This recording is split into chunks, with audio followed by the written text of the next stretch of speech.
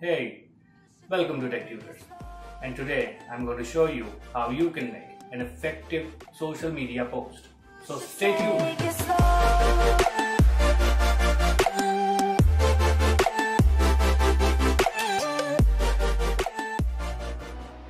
Hello friends, welcome back to Tech Tutors. And uh, today's topic of the video is how to create an effective social media post. What you basically should see, what you should basically do to create an effective social media post. Uh, anybody can uh, make a social media post, like anybody can edit any photograph, any pics, anybody can uh, write a text on uh, a photograph or a simple design but what do i mean about effective what do you think can really affect a social media post that can bring a difference or is a successful post how to create a successful social media post. So let's start. What do i mean of an effective social media post? Effective. What is the meaning of effective? See if the purpose of that social media post fulfills that's effective. If you are selling a product on social media if you are doing awareness for any any company like if you are working if you are a graphic designer or a social media manager in any uh, manufacturing company let's take an example of a manufacturing company. If you are working as a designer in a steel manufacturing company a steel company which makes steel coils are you going to sell a steel coil onto social media? I don't think so. So what you'll be doing in that company you'll be sharing awareness about how steel is useful in daily life. Uh, see uh, these kind of posts you'll be making for uh, that steel company for social awareness to support their product. Obviously no direct customer is going to purchase a steel coil but these kind of awareness are very important for these kind of manufacturing companies and if you are making a social media post for some kind of a product if you cannot sell a product if your social media post doesn't bring any change if your social media post doesn't get any lead so it's a fail so i'm about to tell you some cliche points about how to create an effective social media post. So point number 1 product.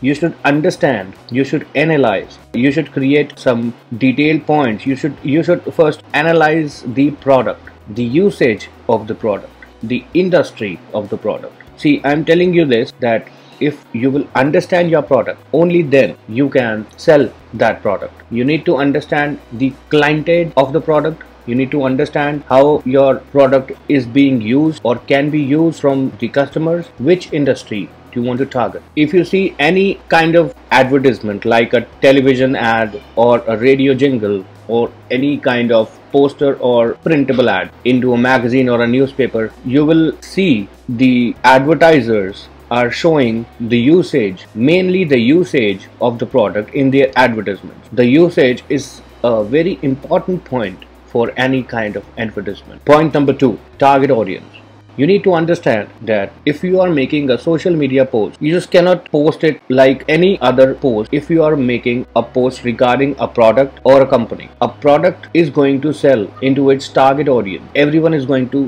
buy your product. And if you are doing a paid advertisement if you are doing a paid social media post then you need to target your audience. How are you going to see the target? How are you going to analyze the target number one you should see the age of your target audience because if you are making see these are very important points if, if you are making a, a product that is uh, that can be used uh, from the age group of maybe 3 to 12 you're going to target that audience who is about 30 to 40 years. Because if you are making a product for teenagers uh, most probably just for the teenagers who are you going to target? The teenagers right? Because almost everyone in today's time is onto a social media platform. Number second gender. There are many products that are gender based you need to target your audience as the product. You cannot sell anything any kind of product that is not set for their kind of gender. You need to target wisely. Point number three in target audience color. Why am I putting this here? If I'm saying you should choose colors related to gender and age of the target audience for a specific product. So I'm telling you, if a feminine product you're selling, what color are you going to use? 99% of you are going to say pink, right? And if I may ask, if you are making a social media post for a product that is related to children, what color are you going to use? 80% of you are going to say baby pink or baby blue, right? So choosing a color in social media posts are very important to target your audience and showcase the product.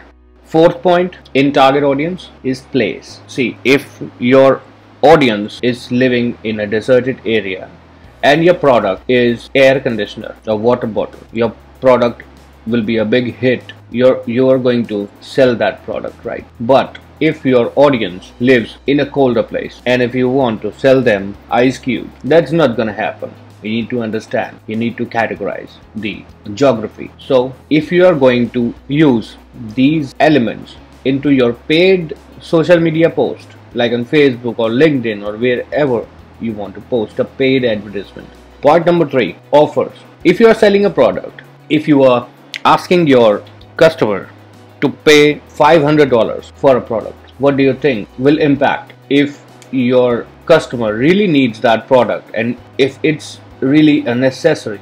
What offers are you going to show to your customers? Emi options if your product supports these kind of options. You really need these kind of options if you are selling something that expensive. But if you do one more twitch into your design like if you are selling something for $500 if you put put down that $1 and write 4.99 will that affect?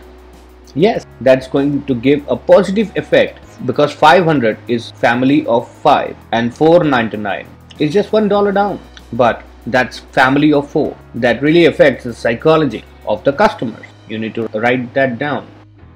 Now you need to assure your uh, clients your customers your target audience that that your product is very good. It's worth the price. How are you going to write it? 100% assurance full guarantee. These kind of taglines, these kind of hashtags you must use into your design. And where are you going to put it? Onto the right down corner. Right next to terms and conditions where you put terms and conditions apply a very in a very small text 100% assurance you need to assure your customers that your money is you're not you're not going to regret by paying us and by purchasing that product need you need to assure your customer your client to buy your product. You're making a design to sell a product right? As i told you earlier you need to understand the color psychology of uh, your brand. Everything you create for a brand like every collateral logo your company's logo your company's website you need to understand the importance of using a specific color for that, I have created a video uh, about color psychology. If you need to understand color psychology, why don't you go and have a look? That's going to help you a lot to understand the color psychology. I assure you that 100%. Point number four, you need to see whether nothing is overlapping your product's image or something important that is written into your post. So you need to align everything. You need to give it a breathing space. I'm not asking you to make minimalistic design, but I'm asking you to make a design that really pops out, that is not a mess. A proper spacing, breathing space for every element and alignment suits your client's eyes and get clicks gets your product sell. Spacing and alignment is very important in any kind of design, not just social media posts, but any kind of design. Everything that you put in your social media post or any design, anything that you put in your design must be important. Not important things should not be there in your design. You must not put anything or any element that doesn't belong there. As I told you, color is a big thing. You must watch color psychology who need to understand branding and how color works for branding. And that's very important. Hey thanks for watching. And if you're new to this channel please don't forget to subscribe the channel. Push the bell icon to stay updated. See ya